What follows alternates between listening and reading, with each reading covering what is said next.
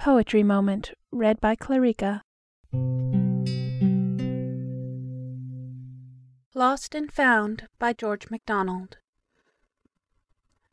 I missed him when the sun began to bend, I found him not when I had lost his rim.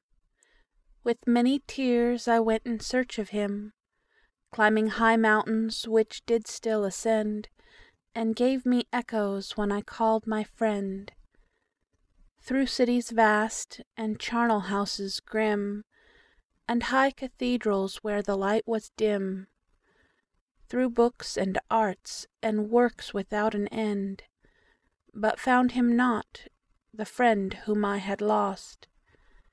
And yet I found him, as I found the lark, A sound in fields I heard but could not mark. I found him nearest when I missed him most.